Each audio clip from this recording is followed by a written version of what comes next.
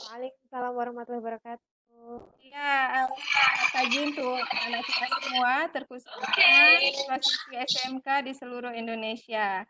Ya, berjumpa lagi di program Satu Rumah Belajar. Ini kita akan diisi materi oleh Ibu Yunda Rismawati SPD. Beliau adalah Duta Rumah Belajar 2019 di Kalimantan Barat. Saat ini beliau mengajar di SMK Negeri Kelas Bawang mengenai kompetensi produktif otomatisasi tata kelola perkantoran. Dan anak-anak sekalian siap ya? Kita akan belajar mengenai OTK, HUMAS, dan pada pokok pembahasan penyelenggaraan rapat. Oke, semoga bermanfaat. Terima kasih. Langsung saja kita undang untuk memulai materinya. Ira, terima kasih. Maaf, ini ada suara noise ini dari mana ya? Ini sebentar ini. Uh,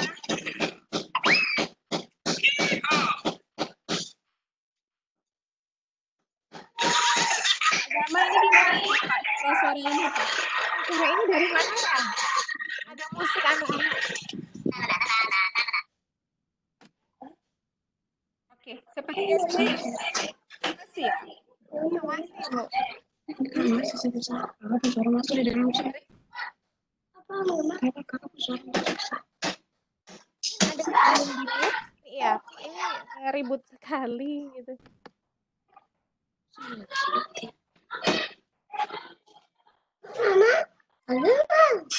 Ada suara anak kecil nih di mana ya? Oke, sepertinya sudah sudah hilang ya, Bu. Baik, Assalamualaikum warahmatullahi wabarakatuh. Selamat siang, sahabat rumah belajar di mana pun berada. Salam rumah belajar, belajar di mana saja, kapan saja, dengan siapa saja. Baik, kali ini eh, saya tadi sudah diperkenalkan dengan sangat baik oleh Bu Ira. Eh, nama saya Yunda Rismawati.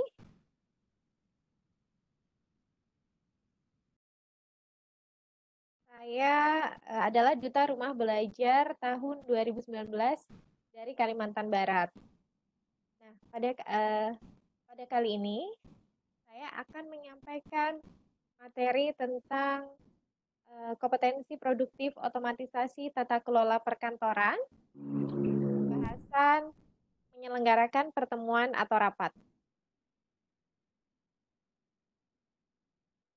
Nah, sebelumnya pada minggu yang lalu ya kita sudah membahas tentang mempersiapkan atau e, merencanakan rapat.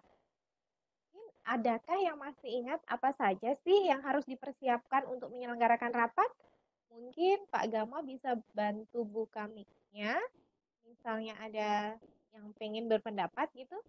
Untuk adik-adik ya, untuk adik-adik SMK di seluruh Indonesia bisa mengaktifkan tanda tangan atau raise hand apabila ingin berpendapat atau ingin menyampaikan sesuatu, nanti dari Pak Agama akan membuka mic-nya, nanti akan meng-unmute sehingga bisa berbicara. Seperti ini, misalnya dikasih kesempatan untuk berbicara, silahkan kasih tanda, nanti biar mic-nya dibuka gitu.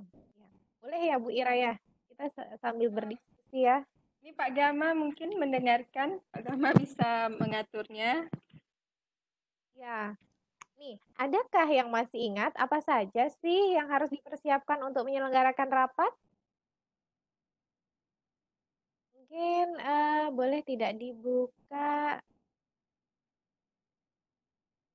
buka satu partisipan gitu, satu mic-nya dibuka. Itu ada yang raise hand.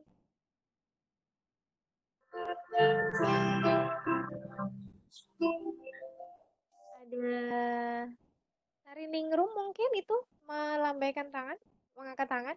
Room ya? Atau ini, Sia Atsia, ya siapa sih namanya ini susah banget. Sia Atsia mungkin pengen berpendapat itu.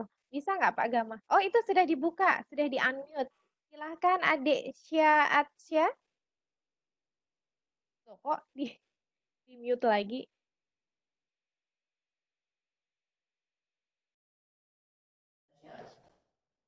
Atsya? Ya, silahkan berbicara. Tasya kah? Satya nih? Loh, unmute lagi. Ayo dong, eh, boleh kok sambil salam-salam. Ya. Tasya mungkin itu? Nggak ada ya? Ya, ini cuma mengancungkan tangan. Tapi nggak mau bicara ya. Oke, baik. Uh, jadi, kita sambil mereview pada pertemuan kita sebelumnya, apa saja yang harus kita persiapkan sebelum menyelenggarakan rapat? Yang pertama, ada itu tentunya kita harus mempersiapkan akomodasi. Akomodasi ini berupa penginapan apabila kita mengundang peserta rapat atau tamu yang berasal dari luar perusahaan. Kemudian yang kedua adalah konsumsi. Konsumsi itu harus disesuaikan dengan jumlah peserta rapat.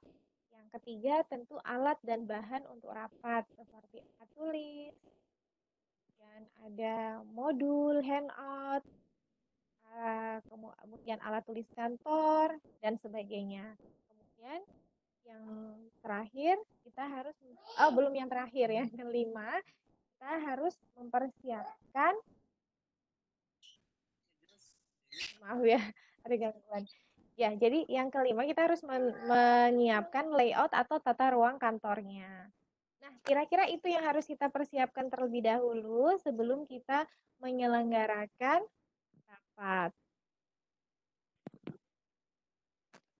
Nah kemudian ada hal-hal yang harus kita cek atau kita periksa di H-1 rapat artinya di hari uh, sebelum hari H rapat itu diselenggarakan, ada beberapa hal yang harus kita cek. Yang pertama, apakah kursi telah cukup atau sesuai dengan jumlah peserta? Apakah e, tata letak tempat duduknya sudah sesuai dengan fungsinya, penyusunannya? Kemudian juga, apakah semua alat perlengkapan rapat telah tersedia dalam ruang rapat dan semuanya berfungsi dengan baik, itu juga harus dicek. Yang keempat, apakah ada bahan-bahan atau materi rapat yang akan dipergunakan dalam rapat e, sudah dipersiapkan dalam map dan bisa didistribusikan ke pesertanya. Terus jangan lupa daftar hadir, agenda rapat, susunan acara juga telah dipersiapkan dengan baik. Tentunya tidak ketinggalan konsumsi rapatnya apakah sudah dipesan sesuai dengan jumlah peserta rapat. Sampai sini mungkin ada yang ingin berpendapat.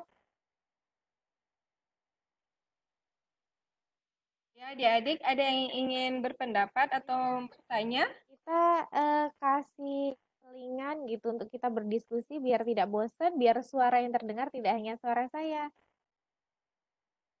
Ada tidak nih? biar peserta juga ikut berkontribusi. Mungkin uh, ya ada Cynthia Magdalena. Coba boleh tidak dibuka ya Pak Gama ya, Cynthia Magdalena. Cynthia Magdalena ya? Iya, Pak. Coba dia. Saya nggak bisa. Sepertinya udah Gama. Ah, Cynthia sudah dibuka. Cynthia coba uh, mungkin mau menyampaikan pendapat atau mau bertanya boleh atau mau mereview pelajaran yang diterima di sekolah dengan yang ibu sampaikan juga boleh. Cynthia, Cynthia, Cynthia Magdalena ya? Iya. Boleh perkenalkan diri Cynthia? Ayo nggak usah malu.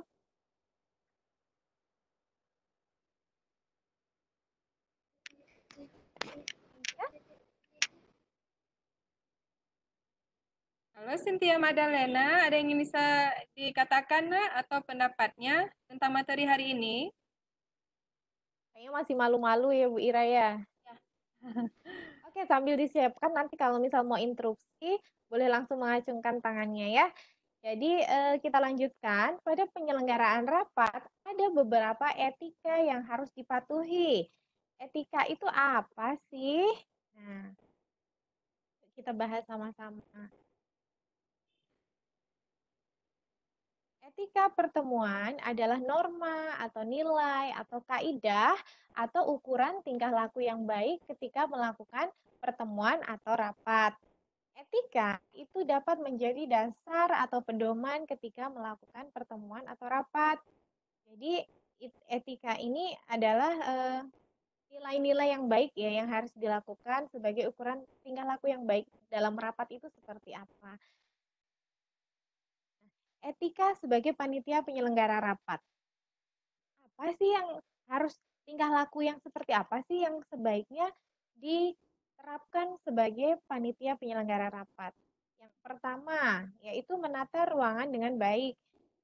Menyelenggarakan pertemuan sesuai dengan susunan acara yang dibuat. Ketiga, menempatkan tempat duduk untuk orang sesuai dengan kedudukan atau jabatan yang bersangkutan. Nah, urutan tempat duduk itu diurutkan berdasarkan kedudukan atau jabatan peserta rapatnya. Kemudian, nih, dalam mengundang peserta rapat itu harus beberapa hari sebelum pelaksanaan rapat. Ya, idealnya surat undangan itu diedarkan 3 sampai 7 hari sebelumnya. Meskipun pada pelaksanaannya kadang kita rapat besok pagi hari ini baru dapat undangan ya. Jadi ini yang e, Ibu sampaikan yang dibahas ini adalah idealnya. Idealnya seorang peserta e, rapat itu mendapatkan undangan itu 3 sampai 7 hari sebelum rapat dilaksanakan. Kemudian sebagai seorang panitia atau sebagai panitia harus menghargai seluruh peserta rapatnya. Dan membagikan makalah atau bahan-bahan rapat dengan sopan dan tertib. Juga menggunakan bahasa yang baik dan santun. Jika tadi etika sebagai panitia peserta, eh, panitia penyelenggara rapat, maka eh, seorang peserta rapat juga harus memiliki etika yang baik.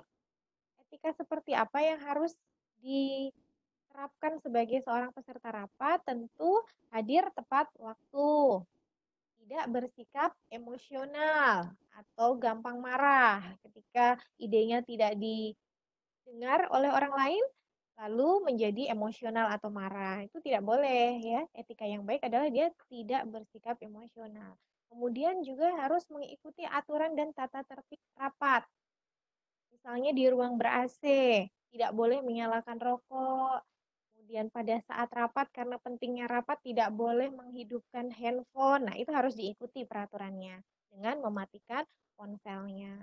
Kemudian tidak bersikap egois. Mau mendengarkan Eh, ide-ide atau komentar dari peserta rapat yang lain. Kemudian tentu saja menghargai orang lain yang sedang berbicara, tidak memotong pembicaraan. Yang terakhir adalah bersikap sopan, santun, dan bijaksana. Nah, gaya bahasa dalam rapat itu ada beberapa ya kan setiap orang punya gaya bahasa, gaya berbicaranya masing-masing. Nah, di dalam teori rapat, kita mengelompokkan ada empat gaya bahasa dalam rapat yang sering ditemukan pada saat penyelenggaraan rapat. Yang pertama adalah gaya bahasa hiperbola. Hiperbola adalah berlebih-lebihan. Maka gaya bahasa hiperbola ini adalah menyatakan sesuatu secara berlebihan. Ada yang dinamakan gaya bahasa klimaks.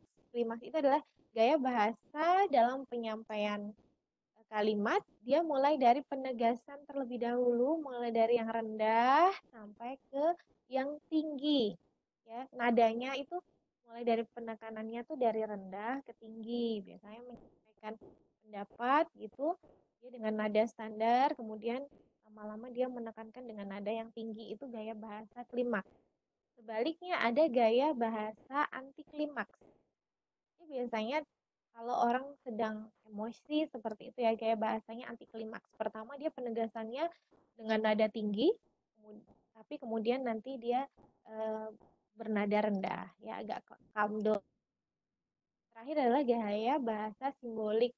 Gaya bahasa simbolik ini dia dalam berbicara menggunakan simbol-simbol atau lambang. Nah, sampai sini ada yang ingin dapat atau bertanya? Boleh kita sambil diskusi biar tidak bosan? Ya, anak-anak sekalian yang ada di rumah, ada yang ingin ditanyakan mengenai materi untuk uh, hari ini mengenai uh, apa tadi Bu Yunda? Penyelenggaraan rapat Bu Ira. Penyelenggaraan rapat. Coba boleh di uh, boleh dibuka mic-nya siapa yang? Yang Sari Ningrum ini ya, coba kita buka mic-nya. Sarining Room ini dari tadi angkat. Assalamualaikum Sarining Room.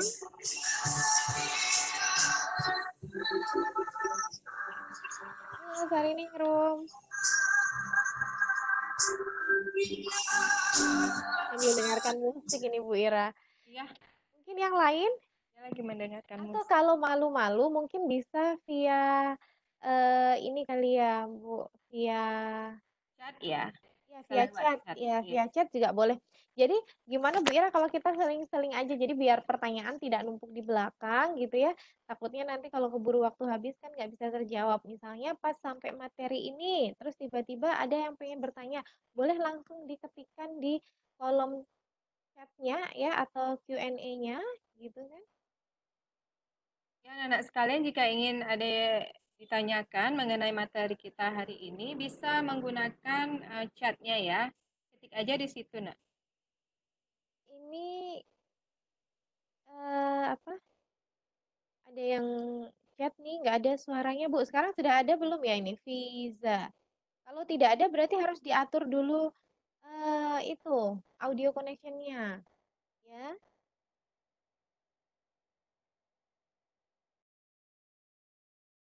Uh, ini Muhammad ini ya. Uh, Muhammad. Muhammad. Bentar, Muhammad. Ada kirim chat ke Ibu kah?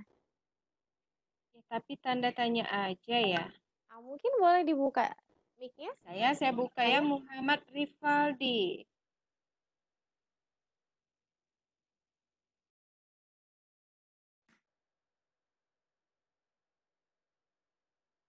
Ya, kalau tidak saya lanjutkan dulu ya Bu Ira ya.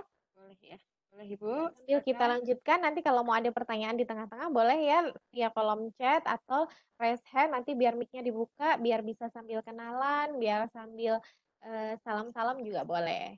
Oke, materi selanjutnya adalah proses penyelenggaraan rapatnya.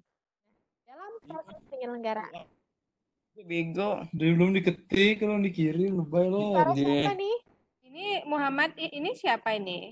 Halo, ini suara siapa ya? Silakan berkenalan. Rivaldi. Rivaldi. Ya, oke Rivaldi, boleh boleh perkenalkan dulu dari mana? Dari inian SMK Perintis satu Depok. Oh, SMK Perintis Depok. Oke. Ada yang ingin ditanyakan nih, Rivaldi, mengenai materi hari ini? Boleh? Silakan. Pendapat gitu? Enggak. Oh iya, cuma ingin memperkenalkan dirinya ya, Nak Muhammad Rifaldi ya. Ada yang ingin ditanyakan, Nak? Materi tentang materi. penyelenggaraan rapat. Iya. Ini OTK perkantoran. Iya. Muhammad Rifaldi jurusan apa? Cara menyusun surat gimana Bu caranya? Ini Rivaldi jurusan apa ya? Perkantoran.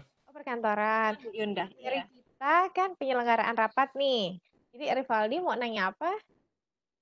Cara menyusun laporan gimana? Laporan, laporan apa? Laporan rapat? Ya, laporan rapat. Kalau laporan rapat itu namanya apa? Nggak tahu. Oh, belum tahu ya. Jadi iya. dalam rapat itu kan nanti ini belum dijelaskan sih kebetulan ya. Jadi nah. proses penyelenggaraan rapat ini nanti ada yang namanya notulis atau sekretaris rapat yang harus mencatat eh, apa saja yang dibahas dalam rapat. Nah, uh. nanti catatan itu biasanya disebut dengan ada dua macam. Kalau dicatat secara lengkap, nanti deh dijelaskan ya sambil jalan ya, Rivaldi. Terima iya. kasih ya. sudah bertanya. Nanti akan dijelaskan sambil jalan nih, ada di slide selanjutnya. Kalau nanti pertanyaannya Ibu Yunda, uh, cara menulis laporan ya? Iya. Boleh itu, bagus sekali. Terima kasih Rivaldi. Mau ini, mau ada lagi yang disampaikan? Enggak itu aja Bu kayaknya. Oke, kalau tidak ada, eh, mohon maaf untuk yang lain. Jadi kalau mau bertanya pakai suara, raise hand dulu nanti biar dibuka mic-nya. Kalau tidak diberi kesempatan berarti eh, mendengarkan dulu saja atau bisa chat via Q&A. Gitu ya. Terima kasih Rivaldi. Terima kasih, Nak. Ya di sini. Oke, kita sambil lanjutkan. Jadi proses penyelenggaraan rapat itu terbagi menjadi tiga. Pembukaan ya, atau membuka rapat. Kemudian ada jalannya rapat. Juga yang terakhir adalah penutupan atau menutup rapat. Pada saat membuka rapat, ya ada hal-hal yang perlu di, eh, diperhatikan pada saat membuka rapat. Yaitu hal-hal apa saja sih yang perlu disampaikan pada saat membuka rapat? Tentu pembukaan rapat biasanya diawali dengan salam, kemudian menyampaikan acara rapatnya ini membahas tentang apa atau menyelesaikan permasalahan apa. Kemudian menyampaikan tata tertib rapat. Ya, tata tertib ini bersifat fleksibel. Ya. Eh, masing-masing rapat, masing-masing organisasi boleh membuat tata tertibnya masing-masing. Kemudian motivasi atau pentingnya masalah yang akan dibahas ini untuk apa? Contoh nih, misalnya rapat ini e, tentang membahas e, penurunan omset. Berarti harus memotivasi pentingnya untuk menyelesaikan permasalahan itu supaya apa? Supaya omsetnya bisa naik lagi gitu. Kemudian ada e, pengenalan masalah atau persoalan yang akan dibahas. Terakhir tujuannya diadakan rapat. Oke, itu e, tahapan-tahapan yang disampaikan pada saat membuka rapat. Ya, terakhir gunakan kalimat yang singkat dan jelas. Nah, jalannya rapat itu berisi tentang pembahasan masalah-masalah rapat, juga penyampaian tanggapan-tanggapan serta saran dari peserta rapat untuk mencapai kesimpulan atau mendapatkan solusi dari permasalahan yang sedang dibahas. Nah, ini menjawab pertanyaan dari Rivaldi tadi bahwa e, semua isi pembicaraan di dalam rapat itu harus dicatat, ya, dicatat, dicantumkan ke dalam laporan atau e, biasanya hasil rapat itu disebut dengan notula. Ya. Rapat dicatat oleh seorang notulis atau sekretaris rapat. Sebutannya, hasil catatan dari rapat ini ada dua macam. Ya, ada dua bentuk catatan rapat. Yang pertama, verbatim, yaitu catatan lengkap. Jadi semua pembicaraan dalam rapat itu ditulis tanpa ditambahin atau dikurangin. Yang kedua yaitu notula. Nah, ini yang paling familiar, ya, yang paling sering di eh, buat e, menjadi catatan rapat yang berisi pokok-pokok pembicaraan yang dibahas saja dalam rapat tersebut. Jadi e, bentuknya bukan laporan ada pendahuluan dan sebagainya, tetapi hanya berbentuk catatan rapat gitu ya, Rivaldi dan semuanya gitu. Nah, tadi ingat ya, notula yang menulis sebutannya adalah notulis. Nah, pembahasan lebih detailnya, notula itu bagian-bagiannya seperti apa, bentuknya seperti apa. Nah, kebetulan tidak akan Ibu sampaikan pada pertemuan ini. Mudah-mudahan nanti eh, di pertemuan yang akan datang mungkin bisa eh, Ibu jadikan pembahasan gitu ya. Mudah-mudahan masih bisa bertemu lagi. Oke, next. Fungsi dari catatan rapat. Nah, kenapa sih kok rapat harus di catat segala gitu ya. Padahal peser, uh, peserta juga sudah mendengarkan gitu. Ternyata ada fungsinya. Yang pertama sebagai dokumen dan alat pembuktian.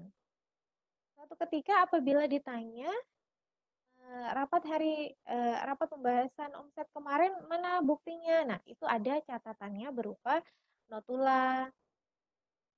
Kemudian sebagai dasar untuk pertemuan selanjutnya. Jadi eh, idealnya setiap rapat yang diselenggarakan itu harus semisal nih rapat itu adalah rapat rutin bulanan atau eh, rapat tiga bulanan seperti itu dia idealnya harus menyertakan catatan rapat dari rapat sebelumnya. Jadi sebelumnya tadi membahas apa? Kalau kita di sekolah biasanya kan ada rapat eh, kenaikan kelas misalnya. Nah, itu biasanya kita juga bisa menengok catatan rapat di semester yang lalu. Nah, dibahas apa? Jadi ada hal-hal yang perlu dipertimbangkan untuk dibahas di rapat selanjutnya seperti itu. Ketiga adalah sebagai sumber informasi bagi peserta rapat yang tidak hadir. Nah, jadi ketika ada peserta rapat yang tidak hadir, maka bisa melihat hasil dari catatan rapatnya seperti itu. Terakhir adalah sebagai alat pengingat untuk para peserta rapat. Kadangkala ada peserta rapat yang sudah ikut gitu ya, eh, besok paginya ketika ditanya hasil rapatnya apa lupa-lupa. Nah, bisa melihat kembali hasil catatan rapatnya. Oke, yang terakhir pada proses penyelenggaraan rapat adalah menutup rapatnya. Pada proses menutup rapat itu eh, seorang pemimpin rapat atau biasanya diwakili juga oleh pembawa acara atau boleh sekretaris, dia harus menyusun ringkasan atau kesimpulan. Jadi membacakan atau mengulangi inti pembicaraan yang dibahas dalam rapat tersebut dengan penjelasan yang singkat. Kemudian menyampaikan kalimat penutup eh, yang efektif dan sopan. Nah, ini tadi jalannya rapat. Mungkin sudah ada yang pengen menyampaikan pendapat atau bertanya lagi? Muhammad Rifaldi, Ibu Yunda. Ya. Tadi Muhammad Rifaldi eh, ada bertanya juga, apa macam teknik bertanya dalam rapat? Gimana? Pertanyaan dari Muhammad Rifaldi, apa macam teknik bertanya dalam rapat? Teknik bertanya dalam Rapat. Ah, ini kebetulan belum sampai itu. Nanti ada di slide selanjutnya. Rivaldi ini cukup luar biasa ya. Dia membaca materi selanjutnya itu. Nanti Iya, ada di slide selanjutnya nanti ada pembahasan tentang teknik bertanya. Tunggu ya. Tunggu ya, Muhammad Kita tunggu. Kita sampai ke proses penyelenggaraan rapatnya dulu. Nah, mungkin ada lagi yang mungkin eh, belum tersampaikan misalnya di penyelenggaraan rapat ad- ada yang belum jelas boleh ditanyakan dulu. Jadi kalau eh, sudah masuk ke materi itu baru tanya pas itu. Ada? Tidak ada ya, Bu Ira? Nah, sementara belum ada Bu Yunda. Belum ada ya. Mungkin ada yang mau berbicara secara langsung kayak tadi? Pengen dibuka mic-nya boleh? Ya, ada tidak adik-adik? Meliani Nurhalimah, Ya, boleh. Sariningrum, sepertinya yang suara musik tadi ya. Iya. Yang lain mungkin? Oke, Meliani. Belum ada ya? Oke, baik. Kita lanjutkan dulu ya. Sebentar Bu Yunda, ini ada Meliani Murhalima. Baik. Bu, saya dari Pusdatin. Oh, Mbak Meli. Ada di itu iya. Iya, itu Mbak Meli, Bu Ira. Ya, ya, ya. Maaf Bu Meliani. Ada ada raise hand gitu ya? Maaf ya Bu. Oke, saya lanjutkan dulu Oke, ya. Yunda lanjut. Nah, oke lanjut. Ini sekalian menjawab pertanyaan dari Rivaldi. Kok dia tadi Rivaldi terus yang aktif ya? Yang lain mana nih keaktifannya? Sariningrum mengajukan tangan, tetapi eh, karena suara tidak ada suaranya ya. ya. Oke, jadi gini. Nanti pokoknya tetap ikuti dulu sampai akhir. Nanti kita akan ada eh, sedikit quiz ya. Nanti kita per- kita mainkan gitu. Ada pertanyaan-pertanyaan dari tentang bahasan eh, kita pada siang hari ini. Kita lanjutkan dulu ini sekalian menjawab pertanyaan Rivaldi. Teknik mengajukan pendapat dan bertanya dalam rapat. Nah, sebelum ke eh, teknik bertanya, hal-hal apa saja yang harus diperhatikan ketika menyampaikan pendapat agar berlangsung secara efektif. Artinya ketika kita berpendapat di rapat, kita tidak boleh eh, asal-asal gitu ya. Tentu yang pertama harus memakai kata-kata yang lugas dan sederhana. Lugas itu artinya jelas. Sederhana mudah dipahami oleh semua peserta rapat. Kemudian yang kedua memakai kata-kata yang singkat, tepat sesuai kaidah bahasa. Tidak boleh menggunakan kata-kata yang mengandung unsur sara atau bisa menyinggung eh, peserta lain di dalam rapat. Menghindari pemakaian kata-kata yang bermakna konotatif atau bermakna negatif gitu ya. Takutnya bisa menyinggung peserta yang lain. Kemudian menghindarkan pemakaian istilah atau kata bahasa asing yang sekiranya tidak bisa dipahami oleh pembicara dan tidak sesuai dengan umur, tingkat sosial, dan pendidikan bagi peserta rapat yang lain. Jadi dalam berbicara itu kita harus perhatikan juga peserta rapat yang lain atau e, orang yang kita ajak berbicara itu kira-kira paham tidak dengan istilah-istilah yang kita gunakan seperti itu. Selanjutnya, penyampaian pendapat tidak menyimpang dari tema. Rapat itu membahas tentang apa? Jadi yang disampaikan ya tentang tema yang sudah atau yang sedang dibahas. Terakhir, jangan pernah merasa pendapat sendiri yang paling benar. Ya, jadi tetap harus menghargai pendapat orang lain.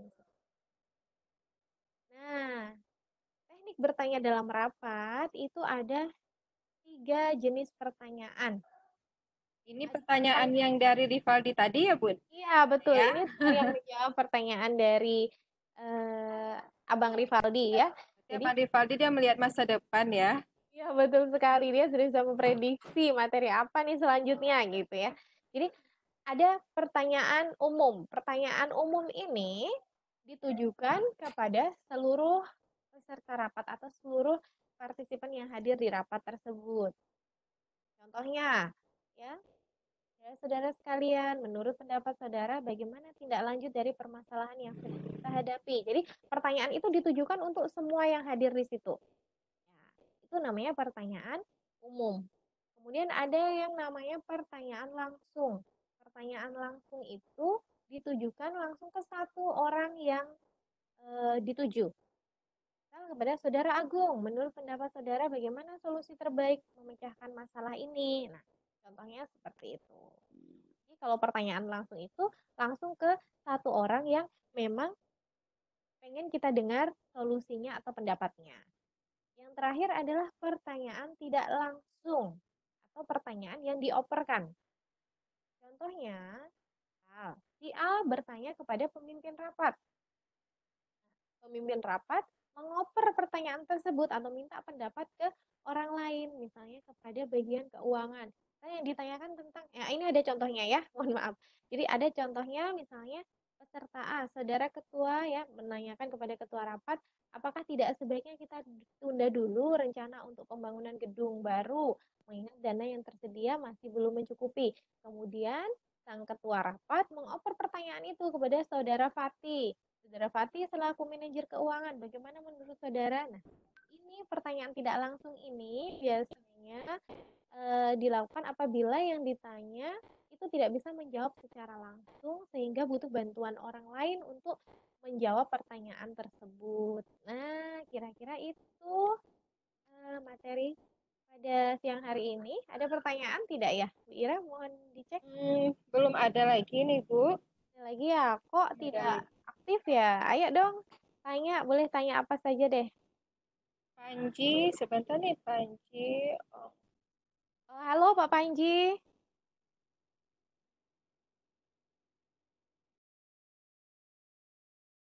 sebentar ya Bu Yunda, ini saya aktifkan.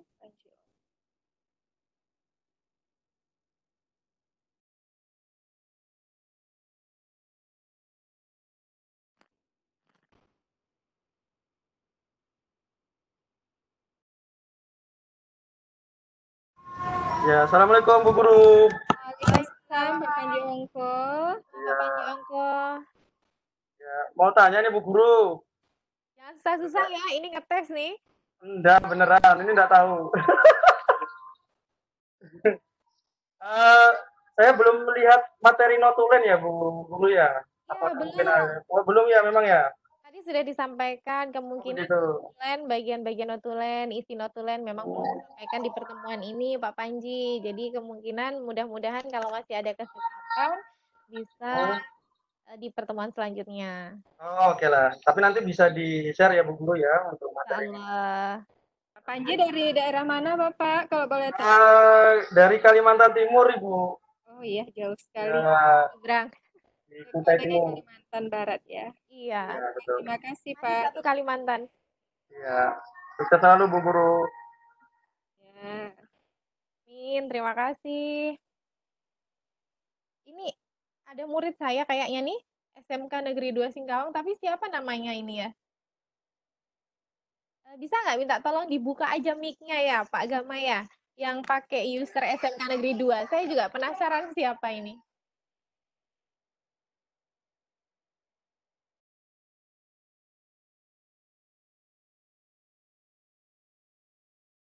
Bu Ira atau Ya, Pak sebentar ini. Gama.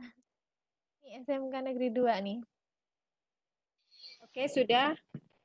Halo, SMK Negeri 2, siapa nih ya? Dari sekolahnya Ibu Yunda ini ya. Iya, saya juga penasaran siapa ini. Kenapa tidak cantumkan nama? Halo di sana, SMK Negeri 2 Singkawang. Sudah membalas Lusita Maharani. Lusita, eh, silakan bisa berbicara, Nak.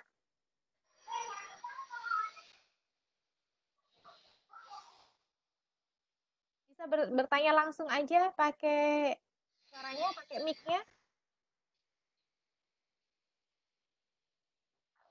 Halo, Lusita. Halo Lusita, itu sudah di unmute itu mic-nya, bisa ngomong. Halo? Halo? Lusita.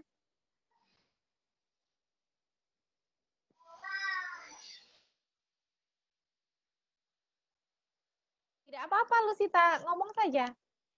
Bertanya langsung saja. Mic-nya sudah diaktifkan itu. Tunggu, tunggu, tunggu. Ya, ngomong aja sudah dengar. Iya, nggak apa-apa. Bu, Iya. Salam dulu ini ya, eh, perkenalan dulu. Assalamualaikum warahmatullahi wabarakatuh. Waalaikumsalam warahmatullahi wabarakatuh. Eh, saya Lusita Maharani, Bu, dari kelas 10 Administrasi 1. Ya, Eh, saya mau tanya, jika catatan rapatnya hilang, apa yang harus dilakukan? oke. Catatan rapatnya hilang ya? Iya, sekali pertanyaannya. Jadi kebetulan kelas 10 ini belum dapat materi rapat ya, tapi nggak apa-apa belajar lebih dulu ya. iya. Sekali terima kasih Lusita. Jadi Iya, Bu. catatan, ya terima kasih. Oke, pertanyaan yang sangat baik. Jadi ingat tadi ya fungsi dari catatan rapat. Kita sedikit berbalik dulu. Nah, fungsi catatan rapat itu salah satunya adalah sebagai dokumen dan alat bukti ya. Jadi seharusnya catatan rapat atau notula itu juga diarsip ya disimpan dengan cara yang benar supaya apa supaya menghindari biar tidak hilang atau eh, mungkin ada yang pinjam pinjam salah satu caranya kalau itu hilang benar-benar hilang ya pertama dicari dulu di tracking siapa peminjamnya seperti itu atau mungkin tertinggal di mana gitu untuk mengantisipasi supaya tidak hilang tentu saja harus menyimpan salinannya atau kopiannya. Jadi menyimpan yang asli, kemudian kalau ada yang pinjam-pinjam kita kasih yang kopian atau yang eh, salinannya saja. Itu untuk meminimal, meminimalisir kehilangan. Tapi kalau memang sudah terlanjur berarti seorang notulis atau sekretaris tentu harus bertanggung jawab. Paling tidak dia mengingat-ingat isi dari rapat pada saat itu apa, kemudian menuliskannya kembali. Nah, kira-kira seperti itu. Tapi tentu saja sebagai seorang sekretaris rapat atau penanggung jawab notula itu sebaiknya tidak tidak hilang. Cara menyimpannya kan sekarang gampang. Ya. Selain kita simpan yang asli, kita bisa menggandakannya atau membuat salinannya beberapa untuk disimpan. Oke, memperkecil kemungkinan catatan itu hilang. Seperti itu. Nah, kira-kira seperti itu? Kira-kira seperti itu ya siapa Nah, mudah. dari SMK Negeri 2 Singkawang. Sita namanya Bu katanya. Nah, iya. Eh, Sita, semoga jawabannya dapat diterima ya. ada lagi yang lain mungkin? Adik-adik? Ini ada pertanyaan dari Rizka. Ah, Ibu Yunda, Ya, apakah briefing dengan rapat sama? briefing dengan rapat apakah sama? Iya. Oke, terima kasih. Siapa namanya, Bu? Ah, Rifka. Rizka. Terima kasih Rizka atas pertanyaannya. Jadi, pada pelaksanaannya briefing dengan rapat itu berbeda. Kalau briefing itu biasanya adalah eh, berlangsung secara singkat dan dia dilakukan sebelum melaksanakan tugas briefing itu. Misalnya ada suatu kepanitiaan eh, mau menyelenggarakan suatu acara, maka dia akan ada briefing sekitar 15 menit ya, paling lama 30 menit untuk eh, mengarahkan panitia eh, kegiatan supaya kegiatannya berlangsung dengan baik. Itu kalau briefing. Kalau rapat itu lebih cenderung untuk memecahkan suatu permasalahan dan mencari solusi dari permasalahan yang sedang dihadapi. Perbedaannya. Ya. Itu dia perbedaannya. Ya, Rizka. Kemudian Rizka juga bertanya ini Bu Yunda, siapa yang berhak mengambil keputusan rapat? Oh iya. Rizka juga ini ya, Bu ya. Iya, masih dari Rizka. Terima kasih pertanyaannya. Jadi, siapa yang berhak mengambil keputusan rapat? Sudah jelas ya. Pastinya yang berhak mengambil keputusan rapat itu adalah pimpinan rapat, tetapi dengan mempertimbangkan tanggapan-tanggapan dan saran-saran dari peserta rapat. Oke. Jadi yang berhak mengambil keputusan rapat adalah pimpinan rapat dengan tetap mempertimbangkan uh, masukan dari semua partisipan rapat tersebut ya, Iya, ya. Sekali Bu Bu Irma. Oke, begitu ya Rizka jawabannya. Eh, coba kalau misal eh, mengisi chat atau Q&A ditujukannya ke to all partisipan, jadi biar semuanya bisa membaca gitu ya. Ini kayaknya saya beberapa pertanyaan nggak bisa baca. Iya. Oke, itu. Oke, sementara belum ada pertanyaan yang lain, Ibu. Oke, eh, selanjutnya ini berhubung materinya saya sampai di sini aja. Jadi eh, kita mainkan kuis dulu ya. Boleh, boleh, Bu. Ya. Kuisnya melalui quizis.com. Jadi eh, kalau minggu lalu kita pakai Kahoot, yang ini pakai quizis.com. Quizis ini nanti di layar HP-nya tetap akan muncul pertanyaannya, nak. Siap ya? Siap semuanya? Ayo berpartisipasi ya di kuisnya ya. Eh, mengukur seberapa jelasnya Ibu menjelaskan gitu ya. Jadi harapan Ibu ini dari 20 sekian peserta bisa ikut semua. Ya. Silahkan kalian masuk ke quizzes.com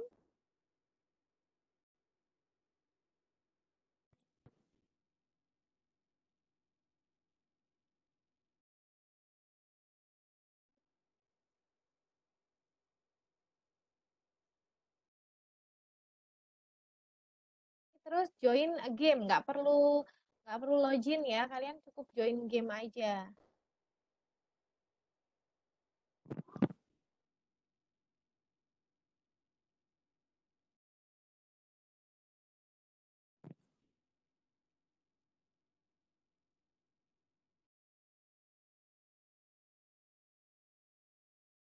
Nah nanti enter code apa game kodenya 94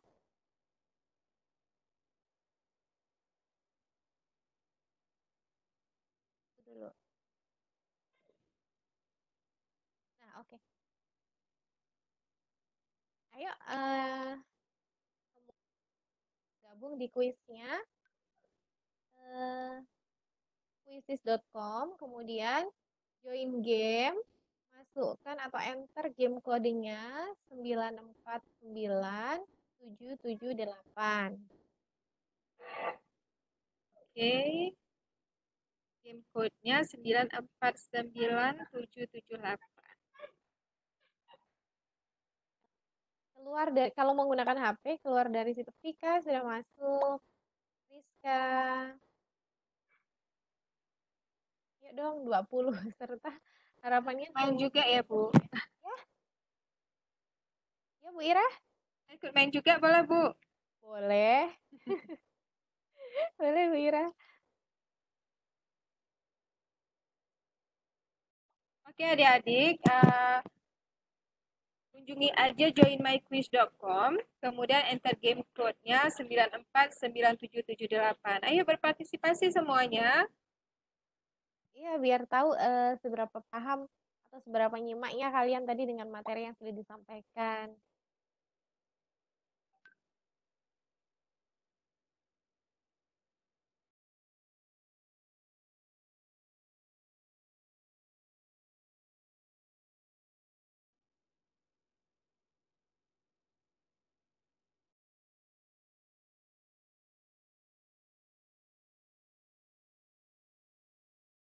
Tapi sebelumnya ini belum dimulai ya.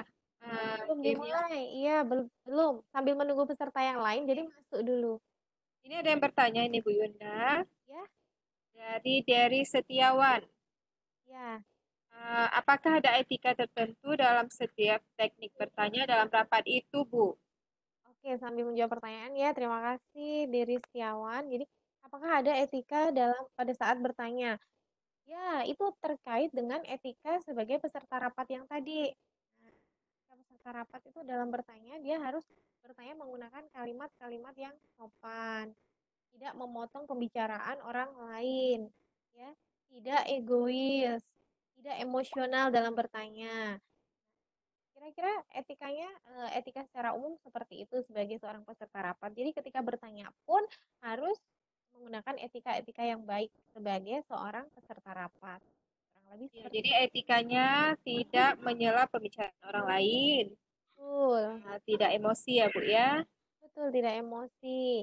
Karena kan eh, kita dalam menyampaikan pendapat tentu tidak boleh menyinggung perasaan orang lain. Nah, kalau bisa kita saling menjaga perasaan masing-masing. Baru delapan orang ini. Ya, Kira-kira seperti itu ya jawabannya dari Setiawan. Oke, Etika-etika dalam bertanya itu tidak menyinggung dan tidak emosi ya.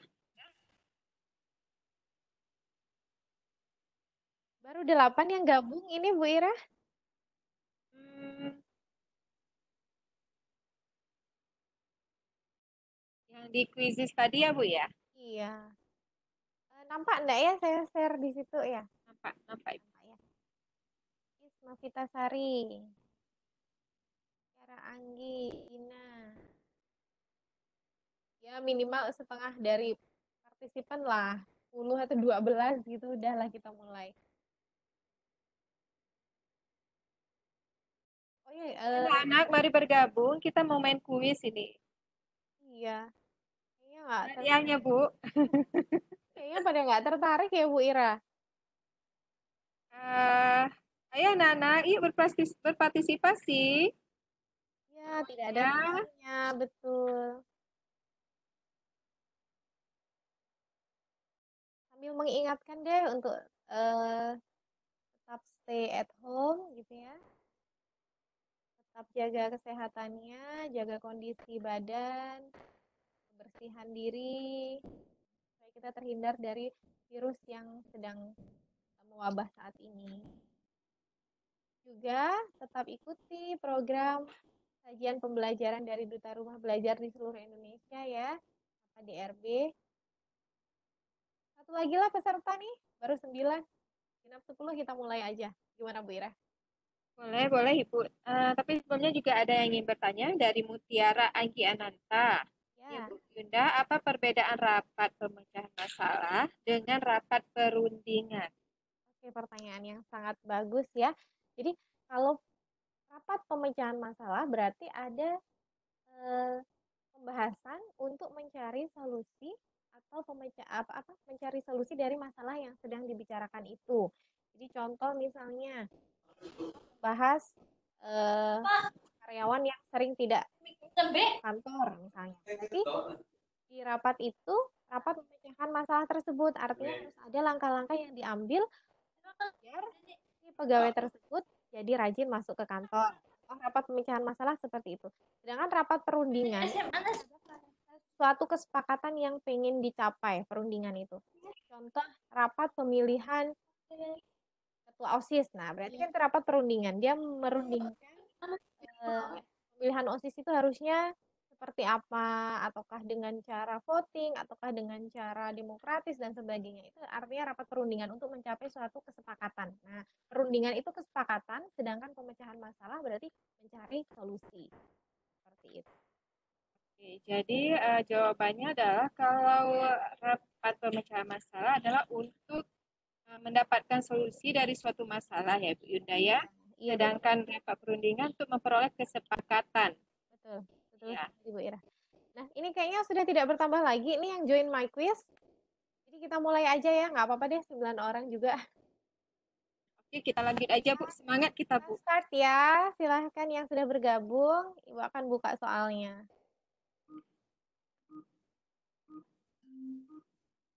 Tika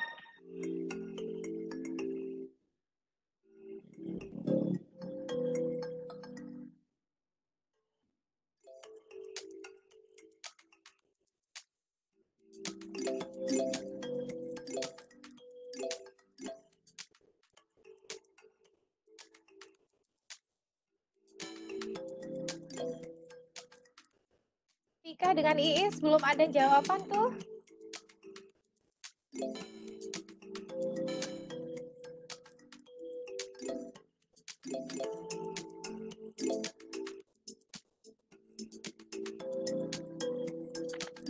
Iis Novitasari ke mana? Kok tidak ada pergerakan?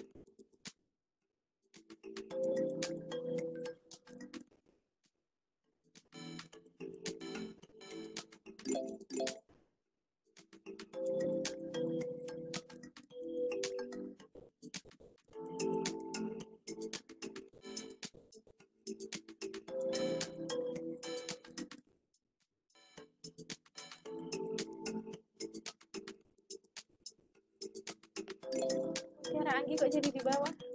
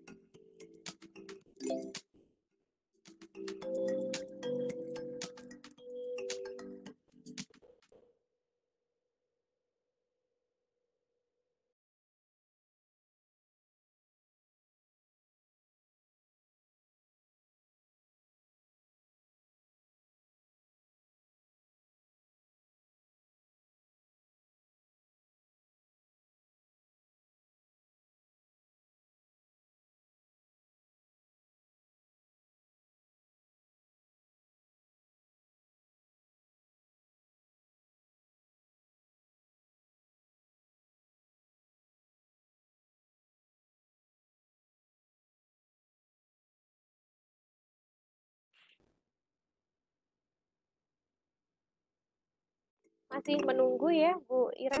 Ya. Itu ada ada dua peserta yang belum menyelesaikan kuisnya. Lagi memikirkan ya Ibu ya. Iya.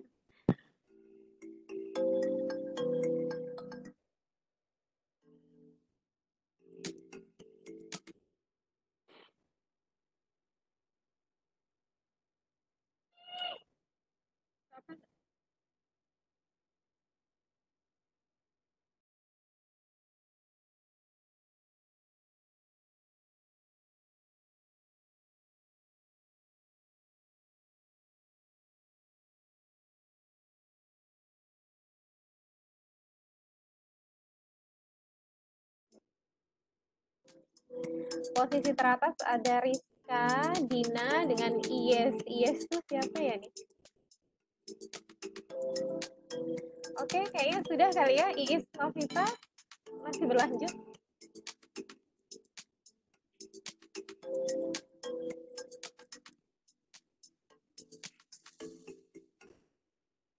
Masih kita tunggu Iis Novita Sari.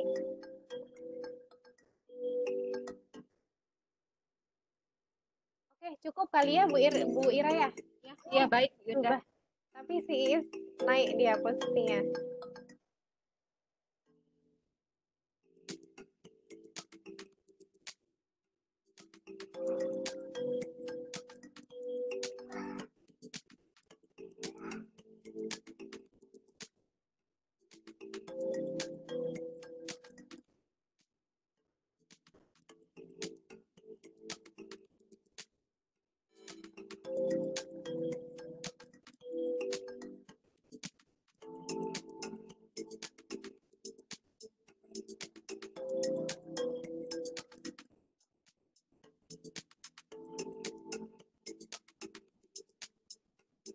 Oke, oke, ini sudah selesai, baik.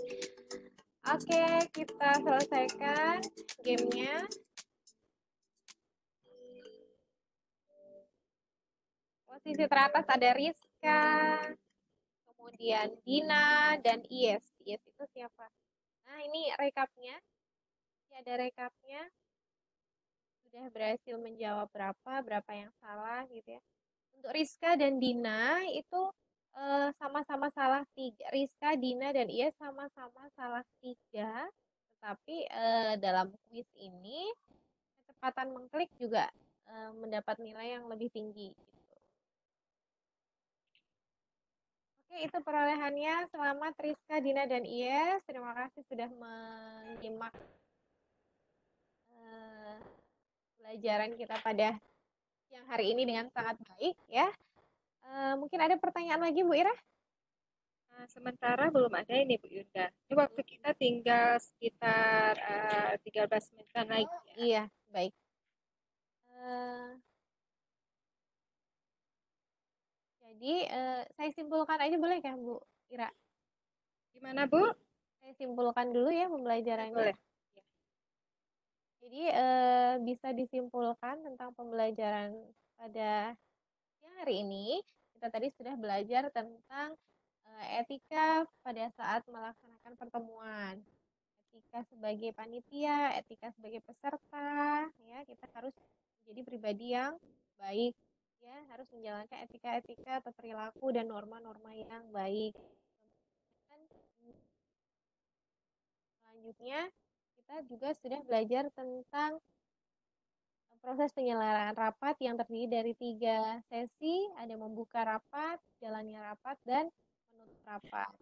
Kemudian kita juga sudah belajar tentang macam-macam catatan rapat, ya ada verbatim, ada notula. Dan yang terakhir ada etika dalam atau teknik teknik dalam berpendapat atau menyampaikan pertanyaan. Juga tadi sudah ada uh, gaya apa sudah kita pelajari pada siang hari ini. Semoga bisa bermanfaat buat yang mengikuti. Ketemu lagi di pertemuan selanjutnya gitu ya Bu Ira. Ya, insya Allah ya. Oke. Okay.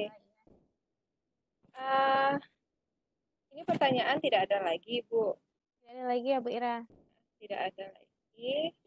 Nah, berarti uh, ada beberapa tadi sudah kita bertanya itu bagaimana me, cara menulis uh, laporan, kemudian apakah briefing dengan rapat itu sama, ya itu jawabannya. Uh, kemudian ada pertanyaan siapa yang berhak mengambil keputusan rapat juga sudah dijawab. Menanyakan bagaimana jika catatannya hilang juga sudah dijawab siapa yang berhak mengambil keputusan, apa perbedaan rapat pemecahan masalah dengan rapat perundingan. Ya. ya. Sudah semua itu. Semua ya. ya. Uh, jadi mungkin bisa di, boleh ditutup kan ya, tapi belum jamnya ya. Ya. Uh, tidak apa-apa. Tadi saya uh, ada dua tadi masalah apa ya tadi Bu ya? Uh, masalah apa tadi tentang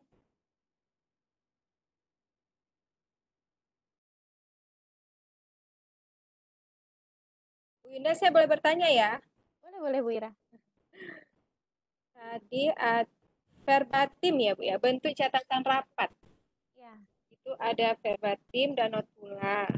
Ya. Verbatim itu semua catatan lengkap. Semua catatan berkenaan semua pembicaraan dalam rapat tanpa ditambahi ataupun dikurangi.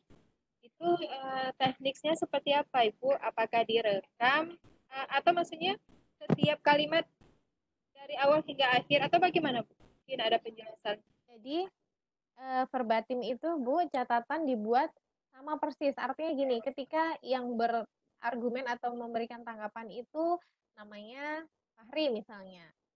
Bapak Fahri eh, Bapak Fahri bagian misalnya staff bagian kepegawaian misalnya menyampaikan tentang bla bla Nah, itu harus ditulis. Itu namanya verbatim. Jadi dia tulisannya lengkap dia mengomongkan apa itu ditulis semuanya.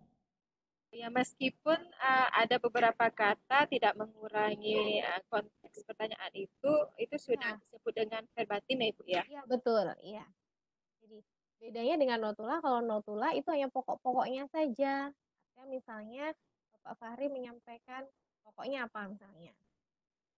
Eh, kehadiran pegawai yang persen atau si A hadir sekian persen hanya itu tapi kalau verbatim itu menyampaikan nah ini ini. Jadi kata per kata yang diucapkan itu biasanya tertulis itu verbatim. Jadi lengkap.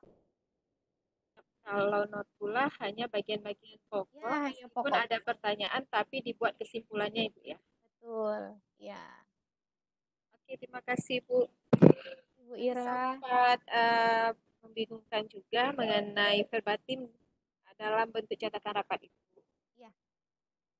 jadi verbatim itu tetap bentuk catatan rapat yang isinya lengkap e, sesuai dengan yang dibicarakan di dalam rapat tersebut. Gitu. Kami kalau di sekolah saya kan lebih ke bagian kesehatan yaitu farmasi dan analis.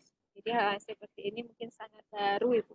Iya betul sekali. Jadi ini untuk jurusan perkantoran. Kalau untuk perkantoran ini sudah familiar sekali dengan surat, dengan notula, dengan catatan-catatan, dokumen itu pasti sudah sangat familiar. Ya, terima kasih. Oke, tetap akses terus rumah belajar ya. Uh, follow Instagramnya belajar.kemdikbud, subscribe YouTube-nya Rumah Belajar Kemdikbud, like Facebook Rumah Belajar Kemdikbud, dan Twitternya juga masih nama Pekom ya. Kemudian Kalau ingin bertanya lebih lanjut atau berdiskusi, bisa juga ke saya Yunda Rismawati, sosmednya Yunda Rismawati, searching aja atau di nomor WhatsApp atau nomor handphonenya juga sudah tertera di layar begitu ya, Bu Ira. Iya, iya. Ada Siap, lagi? Adik-adik ya di rumah eh, untuk materi tentang rapat tadi ya. eh, kalau ingin ditanyakan, saya tanyakan langsung kepada Ibu Yunda Rismawati. Ini bisa di Facebook Yunda Rismawati, Instagramnya Yunda Rismawati. Semuanya Yunda Rismawati ya Bu ya, nggak neko-neko Iya. ya. Tidak.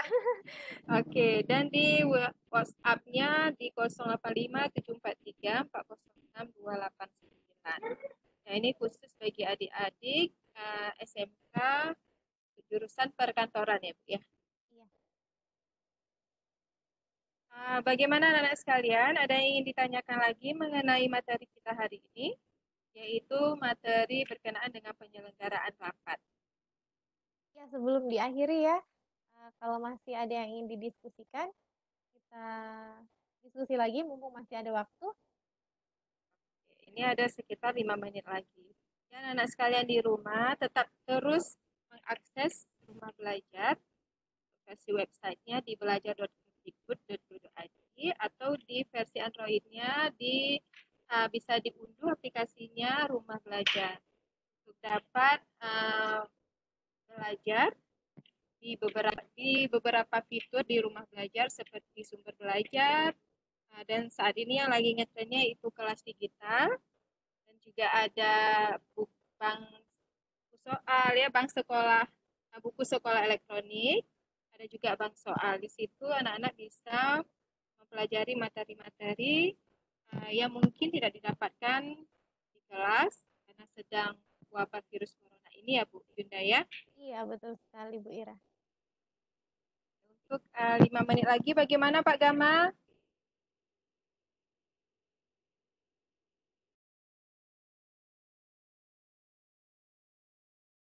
Eh, itu Bu Ira ya.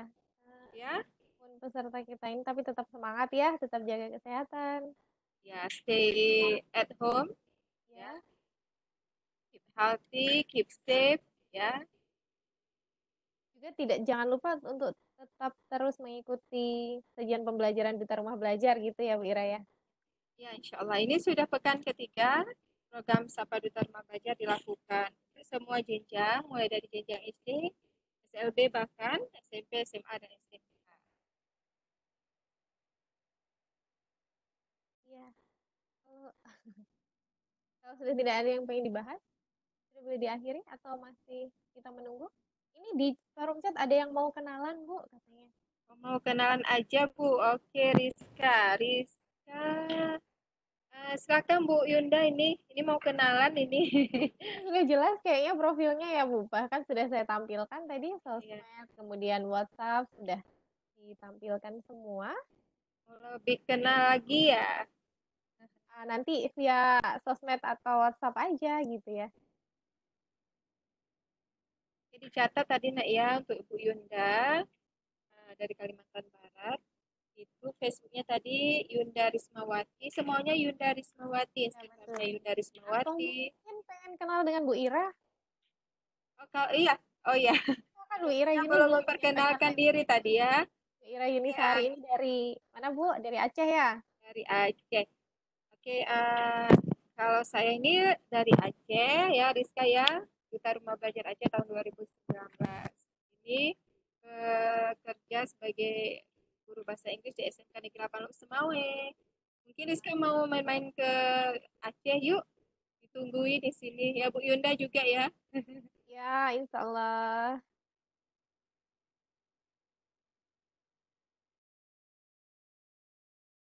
Oke, kita tutup aja ya Bu ya. Ya kali Bu ya, karena udah Tiga menit. nggak di sini. Nanti sudah pukul 12. Terakhirnya untuk eh, program Sapa Duta Rumah Belajar di sesi ketiga pada hari ini. Terima kasih untuk anak-anak sekalian, anak-anak kami, terkhususnya eh, siswa SMK, eh, terkhusus lagi untuk SMK yang ada jurusan perkantoran. Ya Bu Yunda ya. Ya, Oke, semoga kasih. apa yang disampaikan oleh Ibu Duta Rumah Belajar kita dari Kalimantan Barat bermanfaat untuk anak-anak sekalian. Nah, kalau ada yang ingin ditanyakan, ada yang ingin dibahas, langsung saja menghubungi Ibu uh, Yunda Rismawati, uh, Facebook, Instagramnya yaitu Yunda Rismawati. Ta dan untuk nomor WA-nya tadi Bu 085 743 uh, Coba Bu disebutkan 08 085 743 406 289. Iya, silakan dicatat. Kemudian bisa langsung chat sama Ibu Yunda kita. Oke, anak-anak sekalian, terima kasih untuk pertemuan kali ini dan apa yang disampaikan semoga bermanfaat. Nah, saya pribadi sebagai moderator dan Ibu presenter kita, Ibu Yunda mohon maaf atas segala kekurangan. Uh, kita akhiri Ya, terima kasih kepada Ibu Mariani Nur Halimah yang sempat saya pikir siswa tadi ya Ibu, mohon maaf. Dan juga ya, Bapak Putra Gama dan juga khususnya presenter kita Ibu Yunda Risma. Terima kasih. Kita akhiri saja untuk sesi 3 pada program Sapa Duta Rumah Belajar kali ini, Rabu 1 April 2020. Sampai berjumpa lagi. Assalamualaikum warahmatullahi wabarakatuh. Waalaikumsalam warahmatullahi wabarakatuh. Mohon maaf apabila ada salah. Bu Ira makasih.